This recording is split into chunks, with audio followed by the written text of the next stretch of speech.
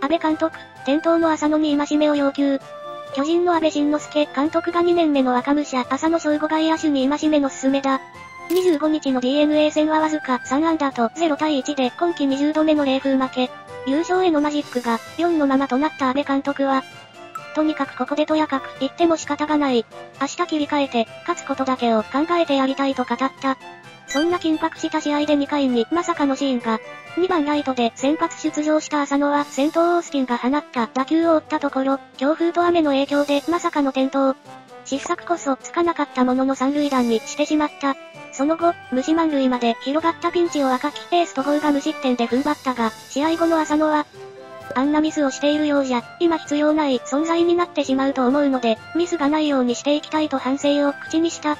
浅野は21日の広島戦でも2点リードの7回2アウトに、3塁でライト前ヒットに猛チャージをかけて後逸し、同点とされるタイムリーエラー。チームが敗れるとベンチで頭からタオルをかぶって涙を流した。もっとも、安倍監督は積極的なプレーでのミスを責めることはない。それどころか自身の経験からこんなことを進めた。どこか写真をあげてよ。パネルにして。俺もキャッチャーフライを落としたんだよ。写真をロッカーに貼った。浅野にプレゼントしておいて。現役選手だった2012年5月7日に宇都宮市の清原球場で行われた DNA 戦。3点リードの9回2アウトから保守の安倍監督がフライを落球し、7対7の同点に追いつかれて引き分けに終わった。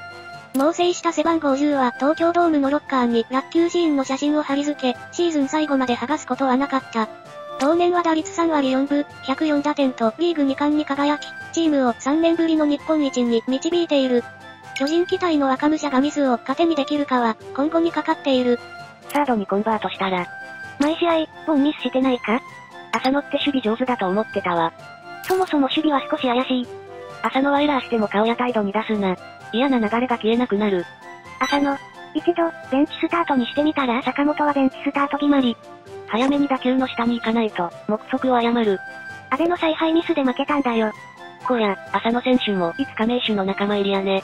頑張れ浅野。相当、雨風で押し戻され、判断の難しい打球だった、と聞いています。あのプレーを見て20年前の堀田の連続落球を思い出した。よく転倒するね、と言っても2回目か。あまりないことだからな。まだまだ若い、経験と鍛錬あるのに。いいイメージを植え付けてあげたい。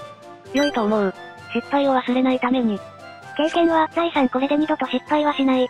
とにかく、野手は打たなきゃ始まらない。浅野選手にはボールから目を離さず、しっかり捉えて、と言いたい。まだ脚力が足りないんだと思う。高校出て間もないし、これから鍛えていってほしい。